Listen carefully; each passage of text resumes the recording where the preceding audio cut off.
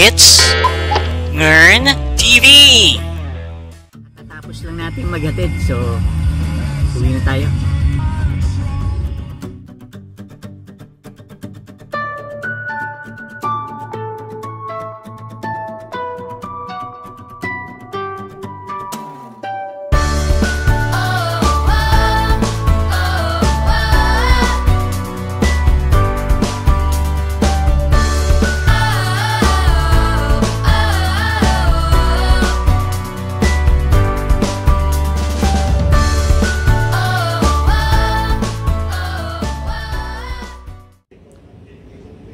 Hello mga katropa, ayos ba tayo dyan? Teka. Ayos ba tayo dyan? Ako, ayos lang ako rito sa San Diego. Malamig na ang panahon ngayon dito, oh, mga tropa. Ito, naka, naka-sweater na ako. At ah, ewan ko kung naririnig ninyo yung, yung aking heater tumatakbo na. Ah, ang ibig sabihin noon na at least mga 70 degrees ang temperature ngayon. Ah, bago po tayo mag-umpisa ay gusto ko po sanang ah, pasalamatan ang lahat ng mga subscribers ko.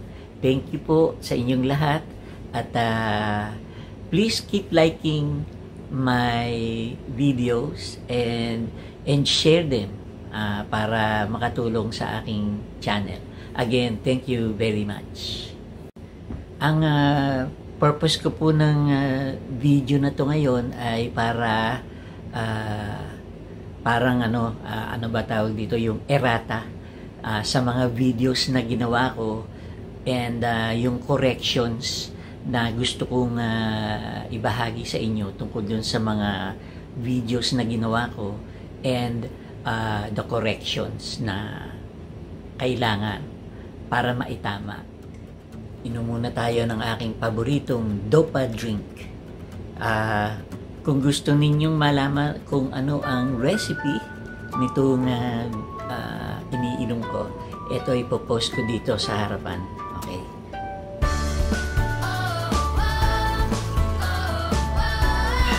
Sarap ang lasa niya parang ano, parang beans. Parang ah, umiinom ako ng peanut butter, parang peanut butter, pero hindi peanut butter.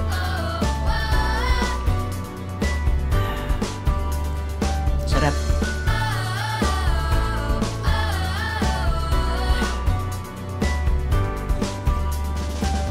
Okay. Continuing. Okay. ah first topic ay Bangka Project.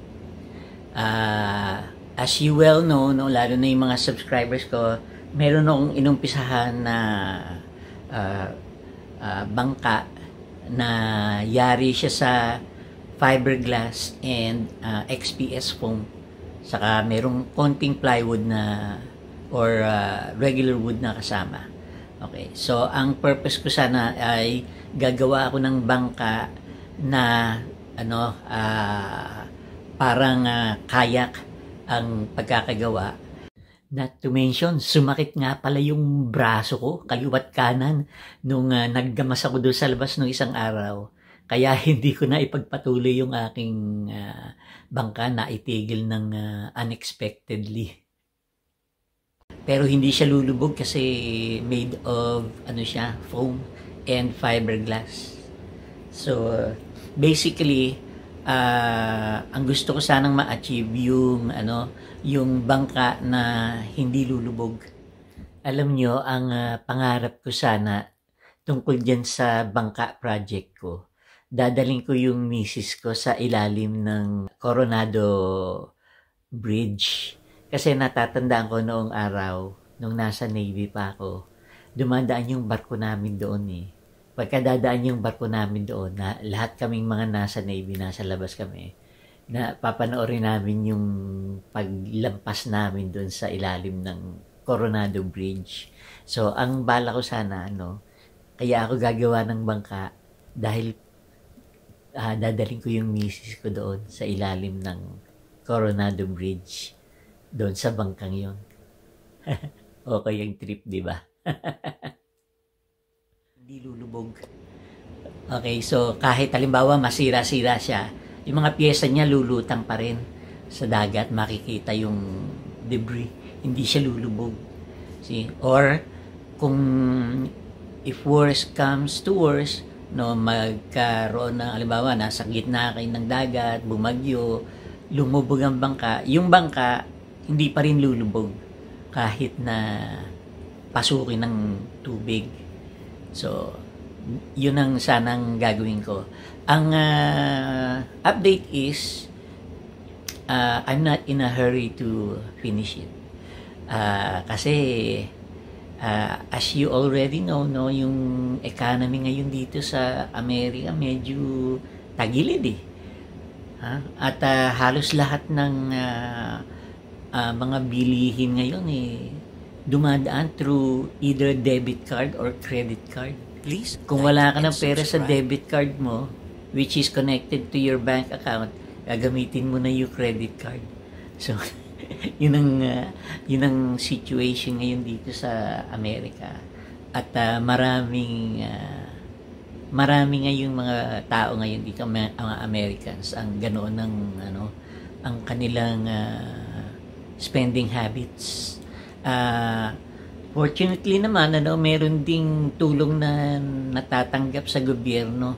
Uh, tulad nung uh, a few weeks ago, yung misis ko, kami, nakatanggap ng uh, debit card na galing sa uh, state.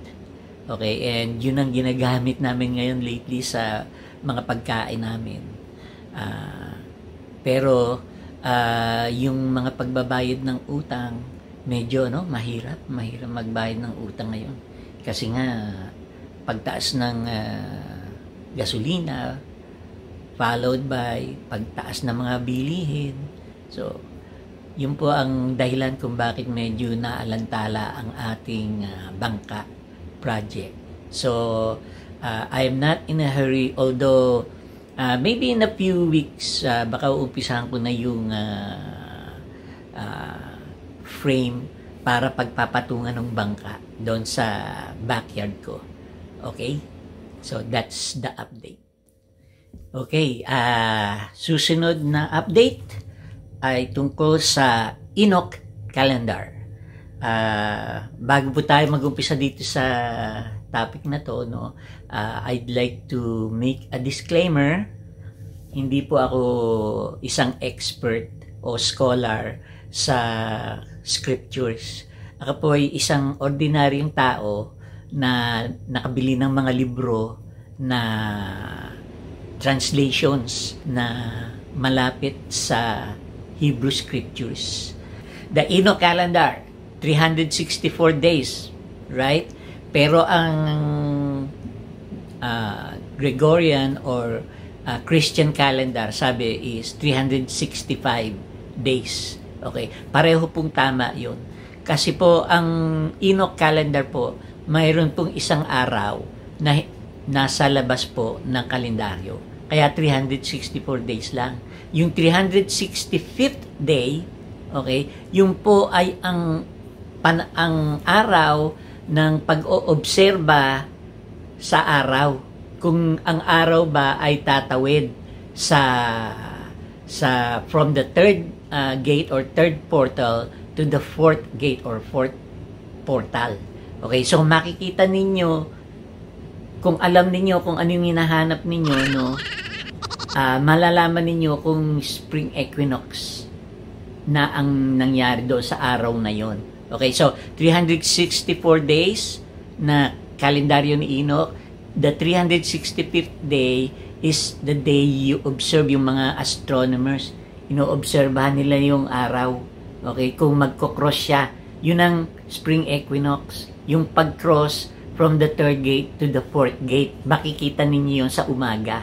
Okay, so yun ang bala kong gawin uh, this coming March kasi itong 2023, late po darating ang uh, spring equinox. Okay, ibig sabihin isang araw siyang late. Imbis na March 19, March 20 siya uh, mag appear Okay. So, yun po yung katumbas ng leap year na tinatawag. At uh, over the years, makikita natin kung ganong ka-accurate itong kalendaryo na ginagawa ko. Kasi, yung mga astronomical events na nangyayari, eh hindi po minabadali yan eh. Hindi pwedeng madaliin kasi may appointed time para doon. Tulad nitong spring equinox na darating, as according to the Gregorian calendar or the Christian calendar, which is correct, yung technology natin ngayon, it afforded us to accurately uh, measure time. Up to the millisecond actually. Uh, actually meron na tayong atomic clock di ba? So kaya nating bilangin ang ang panahon to the nearest milliseconds di ba?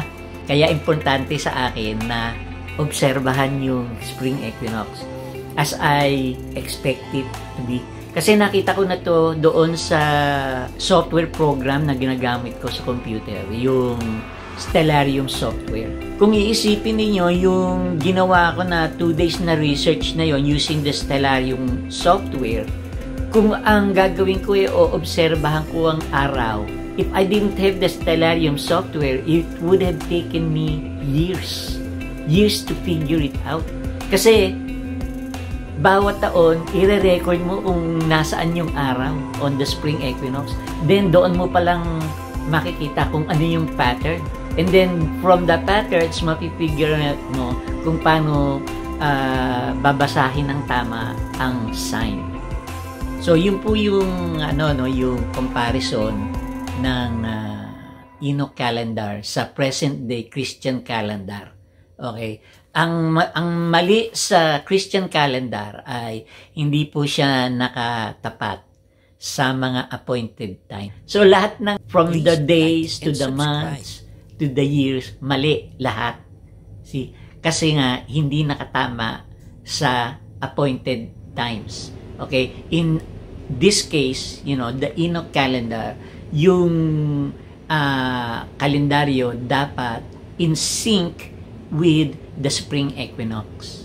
Okay? So, from the spring equinox, okay, that following day should be the start of the uh, the calendar year. The first day of the first month of the Enoch calendar. Uh, meron po akong mga videos, uh, meron akong videos na nag uh, uh, represent nung theory ko tungkol sa uh, spring equinox at kung paano babasahin ngayon, uh, it's been what? I think a year now, okay, since I discovered this thing, okay? And now what I want to do is I want to actually observe it with my own eyes. See? Kaya next year, okay, paghahandaan ko 'yon, gagawa ako ng device na makakatulong sa akin para maobserbahan ng tama ang spring equinox uh, according to what I figured out. Okay. So, yun lang po yun. Um, so, special po yun next year, yung, yung spring equinox, late po ng isang araw. Imbis na March 19 siya mag appear March 20 siya mag appear Or, pwede rin na mag-appear siya twice, yung March, March 19 and March 20. Okay. So that means March 21 mag-uumpisa yung next Enoch calendar year. Okay. So we will get to that later ano kasi ano ito eh this is an experiment eh. We have to take it step by step. Maoobserbahan ko ba talaga yung late uh, spring equinox. Si yun ang ano yun ang yun ang uh, uh, aabangan ko. Si, ang susunod naman Okay, susunod naman, Day Days of Remembrance. Okay, ito po ay bagong uh, well, not really bago, kundi bago sa akin. Ngayon ko lang nalaman kasi nga nung nagbasa ako ng Ju- Book of Jubilees, 'di ba gumagawa ako ng videos tungkol sa first millennium, second millennium, third millennium, right? Yung po habang ginagawa ko yung video, binabasa ko yung Book of Jubilees. So, ganun po yung ginawa ko. Binabasa ko yung Book of Jubilees. At the same time, tinatranslate ko doon sa video ko. At yun yung pinapanood ninyo. Okay. So, sa pagbabasa ko, uh, na tunghayan ko yung tungkol sa Days of Remembrance. Apat po yun na Days of Remembrance.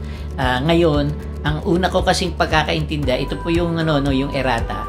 Ang pagkakaintindi ko pag sinabing new moon of the month ay ibig sabihin ay middle of the month. Okay. Pero napansin ko later on nung sa pagbabasa ko, iba yung new moon sa middle kasi makikita mo sa pagbabasa kasi makikita mo doon oh, on the middle of the month uh, or the middle of the seventh month ganon. Ibig sabihin middle talaga. See?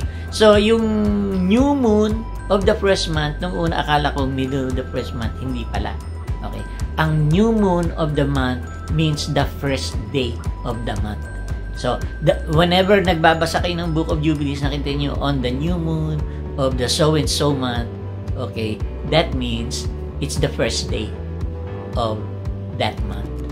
Okay, so, apat po yung days of remembrance, okay? The first day of the first month, the first day of the fourth month, the first day of the seventh month, which is the uh, Feast of Trumpets, and the first day of the 10th month. Okay? So, yung uh, apat na yon, no? The first day of the first month, first day of the fourth month, first day of the seventh month, and first day of the 10th month, yun po ay ang tinatawag nilang the divisions of the year. Okay, those are the days of remembrance. Also, yun din po ang seasons of the year. So, first day of the first month is the uh, spring season. Okay? And then the first day of the fourth month is the summer season. Okay? And then the first day of the seventh month is the start of the uh, fall or autumn season. And then the first day of the tenth month is the start of the winter season. So, ganoon po yung uh, scenario doon sa Enoch calendar. So those are the days of remembrance. Next one. Ah, ito po yung ano yung uh, isang video na ginawa ko uh, I think about a year or maybe not even a year ago. Uh, ang title ay Saan galing ang Biblia? Okay. So, uh, doon sa video na ginawa ko, no, I mentioned there that the word Biblia is actually Greek, which means books. Okay, so the books, the Bible, the books. Okay, and yung pong Bible na yon ay nag-umpisa doon sa Septuagint, okay, which is the Greek translation of the Hebrew uh, scriptures, yung Holy Hebrew scriptures, yung tinatawag ng mga Hebrews na Torah. Okay? So yung Torah po ay tinranslate into Greek. Okay? Ang tawag nila doon ay Septuagint. At doon sa Septuagint po ay hinugot doon yung present day Bible na tinatawag natin. Okay? So, uh, marami pong iba pang influence ang Bible kaya po uh, kasi marami nang ang influence ang nangyari po ay na-defiled na itong Bible na ginagamit natin. Kaya importante na basahin yung mga hidden books, yung mga libro na na ano pa ba yung uh, hindi pinablish kasama ang Bible. Tulad ng uh, The Book of Enoch, okay? Book of Second Esdras, Book of Jubilees, yung mga libro na yun, yun ang uh, kailangan nating basahin kasi hindi masyadong defiled yun eh. So, saan nga ba talaga galing ang Bible?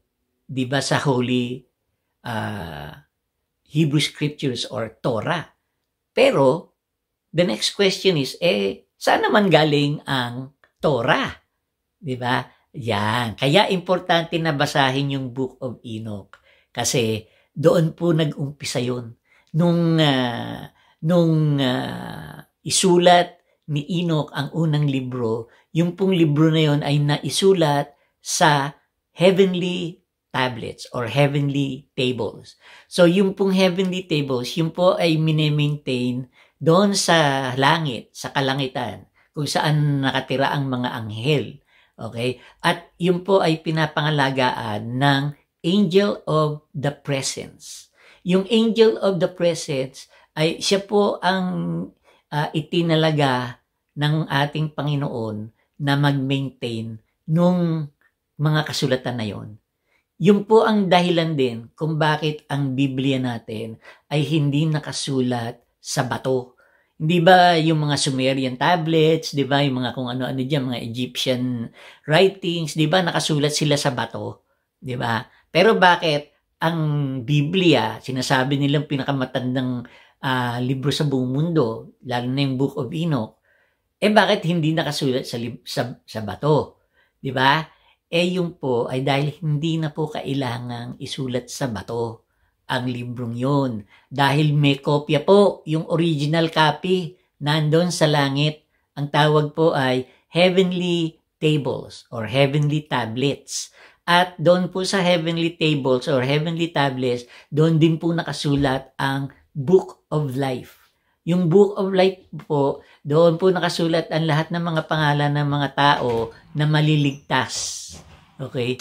Na masa, ma, maliligtas pagdating ng uh, final judgment or judgment day. Okay? So, so uh, yung unang sagot ko doon sa unang video ay kulang. Okay? Ang kabuuan po ay ito. Ang Biblia supposedly ay galing sa Septuagint. Okay? Ang Septuagint ay translation ng Hebrew scriptures or Torah. Okay? At ang Torah ay galing sa mga propeta at isinulat din ng mga anghel at ito ay naka ang kopya nito ay mine-maintain doon sa langit. Okay? Nasa heavenly tables or heavenly tablets. Okay so uh, ano nga ba ang susunod na video ko?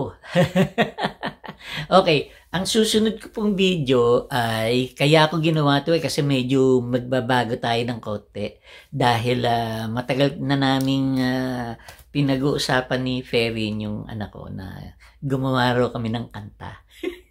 so, uh, uh, as of this making, as of the making of this video, ay uh, gumagawa kami ng, uh, we are putting our our minds together and see if we could come up with a song. So, what's the next video?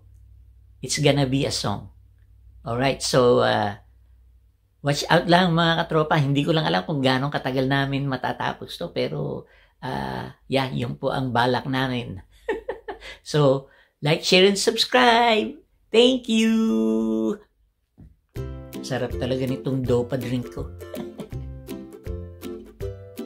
Don't forget to click on the notification bell. Thank you again for watching. Please support our channel by liking, subscribing now. It's free. Yeah, mga katropa, hanggang dito na lang. Like, share, and subscribe. Thank you!